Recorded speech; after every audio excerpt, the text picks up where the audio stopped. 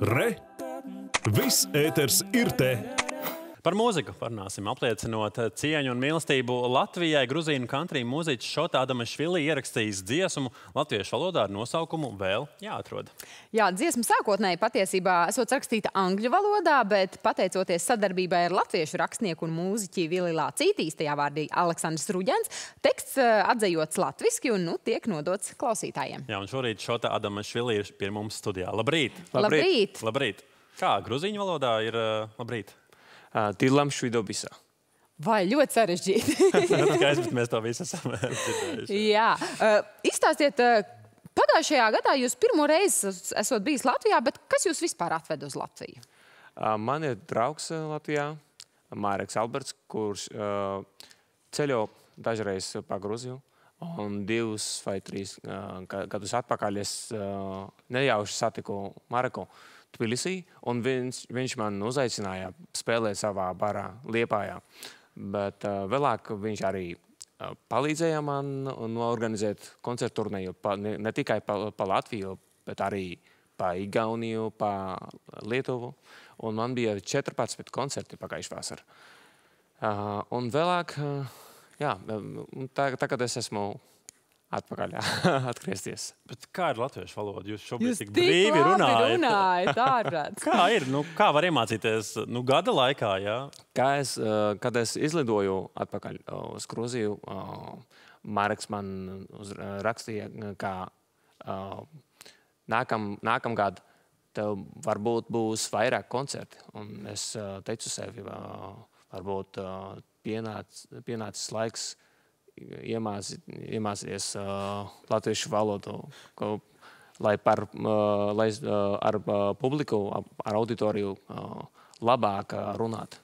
Un sa- Ir praktiski, praktiski Jā. iemesli, jā, jo, protams, ar publiku ir jākomunicē. Mūzika, protams, ir veids, kā izpausties, bet arī tā saruna, tā saikne noteikti ir uh, svarīga. Kas ir tas, kas jums visvairāk patīk Latvijā?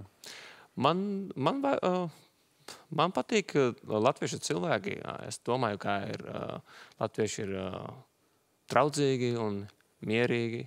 Arī, uh, un arī ļoti patīk latviešu muzikā. Es spēlēju uh, Stīgā, I- Ištepselēts uh, an- uh, akustiskais festivāls. Uh, un uh, es izveidojos draudzības šeit ar mūziķiem. Un, jā, latviešu mu- mūzikā arī man ļoti patīk. Un uh, La Latvija ir skaista. Daudz ezeru, daudz mežu. Uh, jā, jūsu stils ir uh, country stils. Uh, kāpēc tieši šis žanrs? Vai tas ir tāds apzināti izvēlēts vai Country mūzikā uh, ir stāstus, tās stāstus uh, ar rea reālo dzīvi. Es domāju, ka neviens citais mūzikas žanrs nepastāsta stāstu tik labi kā country mūzikā. Un, uh, man bija 18 vai 19 gadi, kad es noskatījos filmu Elektriskais jātnieks. Um, un es iemīlēju country mūziku. Tur bija uh, dziesmā My Heroes Have Always Been Cowboys par kovbojiem. Un es iemīlēju country mūziku un sāku spēlēt. Brīnišķīgi, brīnišķīgi stāsts. Uh, Stāst arī par jaunu dziesmu, vēl jāatrod. uh, Par ko vēstāt šajā dziesmā, par ko stāstāt? Kas ir? par- Angļu valodā uh, dziesmu sauc Would You Mind? Un, uh, uh, Vils Lācītis atzējoja lat, versiju latviešu valodā, bet vārdi, vārdi ir citi. Dziesma ir par mīlestību, par sirds sāpēm. Mm -hmm. Tas ir par- pareizi. Jā. Uh, bet, uh, kā es, uh, kā es uh, izlasīju uh, jaunu, jaunus latviešu vārdus, es domāju, uh, vārdi ir citi, bet varbūt mēs iedēvām jaunu dzīvi manai dziesmai.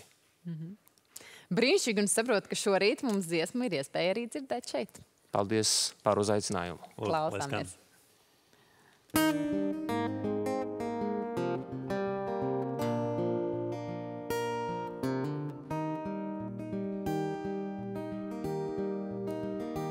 Vai tu zini, kā tiešām nevienā nav tāda kā tu?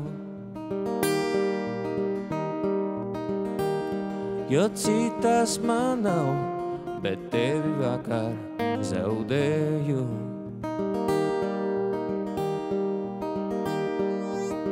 Viss ir beidzies un nevar zināt, kā mums ies. Viss ir beidzies un tagad nāku padoties.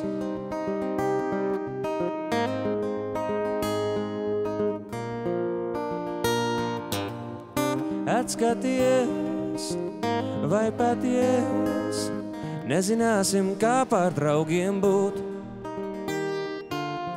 Vai sirds vēl prot, tev pretī dot, varbūt nebūs, varbūt būs.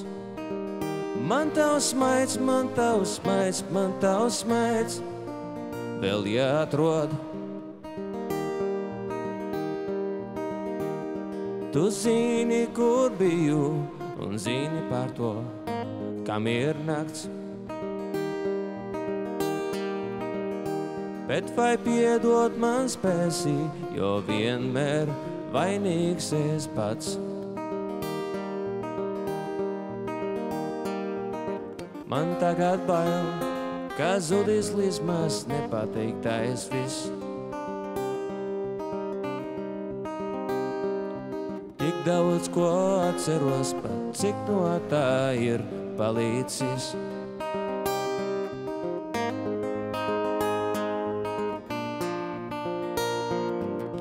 Lai runā vējš, lai vārdu zēš, par neuzmanīgs teikums sirdī plēst. Kad klusējot, man roku dod, to tur un neko nesākot. Tev man smaids, tev man smaids, tev man smaids, vēl jāatrod. Zaudēt tas nav nekāds joks. Vai tu paradīsi, kā mums izdzīvot?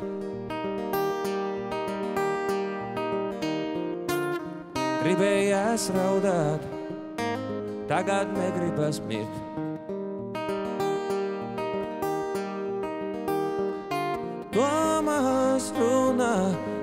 Dvēsele klusējot dzird. Mums tas maids, mums tas maids, mums tas maids, vēl jāatrod. Oh, mums tas maids, mums tas maids, mums tas maids, vēl jāatrod.